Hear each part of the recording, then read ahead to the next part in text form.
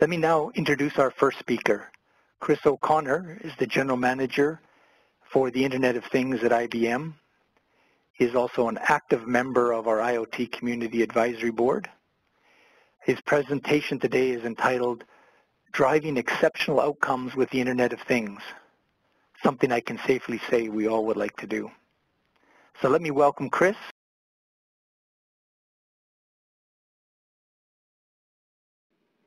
So, with no further ado, I'm going to go ahead and uh, take us through some of the discussion points today that I'd like to cover around the Internet of Things. Uh, most importantly, what I'd like to do today is just impart on where the industry is and where the offerings are and make sure that uh, that, that, that we all see kind of the vision of what's in front of us and the types of things that we can get done uh, using IoT. It's, um, it's really an exciting time in the industry.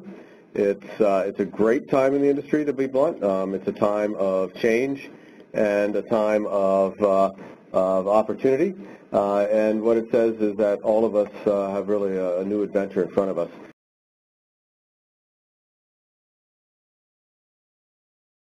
So just kind of think about the transformation that's in front of us, and it is changing the world around us. Literally, uh, as we sit here and as we speak, uh, compute power is being embedded in everything.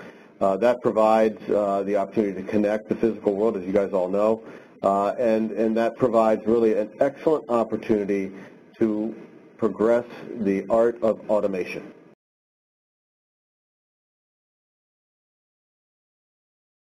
Trillions and trillions of, of, of, of, devices getting you know, connected over, over the long haul, billions in the short haul, right? And if you kind of think about what, what is happening, you, you think about it in very simple terms. There is a shift of economic money that is taking place to devices that are automated in these ways. That means that consumer buying habits and business buying habits are going to change.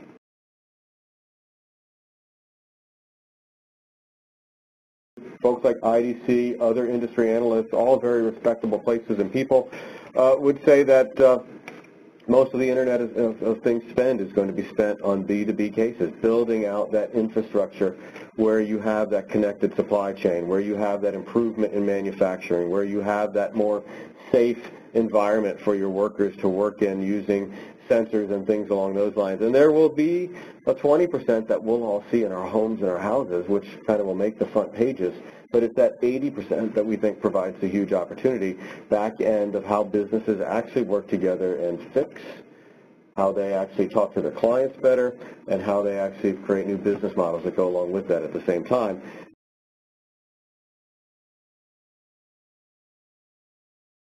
The three reasons that companies are are, are working so hard on the Internet of Things is, is, to, is to, one, improve operations. Okay, that's cool. But, but if you keep moving, you also think about transforming your business model. What's the third area? Most of the people we know that make devices, that make physical devices, are not usually in touch with the end consumer the way they'd like to be.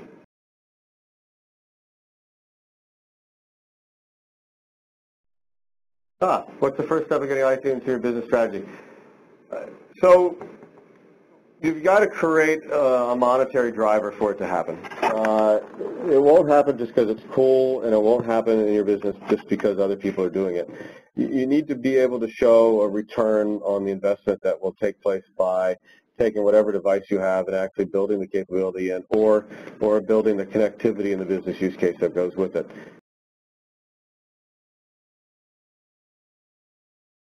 Could own your IoT initiative in your organization since there are so many different aspects of a successful implementation. Do you recommend an IoT project management office? It's, it's a great discussion. Uh, it depends on what you're trying to do with IoT.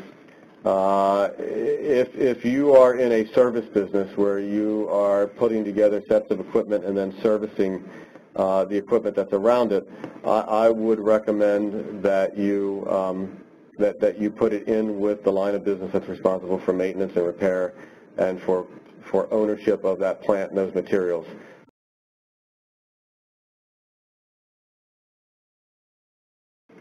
Next question. Today there are over 300 different IoT platforms. Do you, who do you see who do you see consolidation happening, and what will decide the winners and losers? Um, there is there is a lot of consolidation taking place today. Uh, uh, evidence uh, exists in a lot of forms that the consolidation is is accelerating. Uh, when you think about what it means to go long term uh, as an IoT platform, it, it kind of dictates a set of things that you want to think about.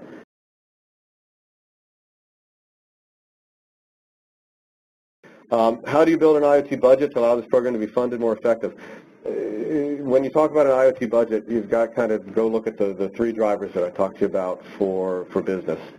Uh, and so this question around how do you build an IoT budget, uh, when we work with clients, we, we go at that first thing I described, which is, which is the maintenance break fix life cycle. Often and many times you can fund an entire IoT program just off of the money saved by doing better break fix maintenance.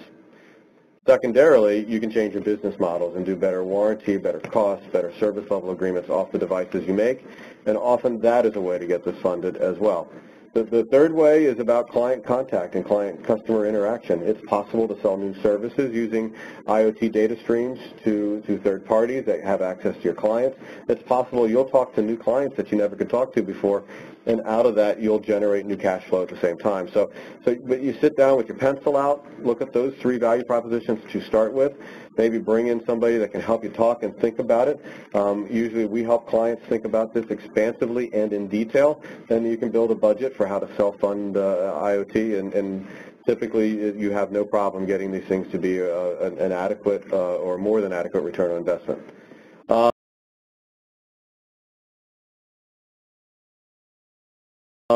Let's see, I'm going to pick another question here. IoT is being used for many more critical requirements, particularly healthcare. I've seen very little around de-risking and testing these implementations. Do you have a view on how to do this? Um, each device, hi, I do have a view, uh, and, and I think that the Internet of Things starts from a common technology core of chips and devices and connectivities and, and, and, and information and cloud and analytics all strung together.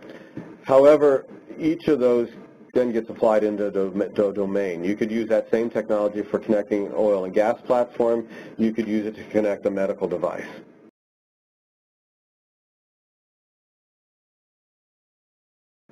How can IoT be deployed in a middle market organization? How does it differentiate from deploying in a Fortune 1000 organization? What are the resources for learning best practices? Um, all depends on whether you're a service organization or whether you're, you're building something. Uh, IoT, if you're building something, is, is an investment in understanding on how to either add or how to complete in your engineering diagrams how that device becomes an Internet of Things device. And, and there are basically two approaches we see getting taken place. One is designed integrally in, so the next time that device is revved, its bill of materials includes the Internet of Things capabilities. We see also people running around with third party, with boards or with boxes or with bolt-ons that they can slip inside of an existing device. That could be a car or an elevator or something that has a cowling.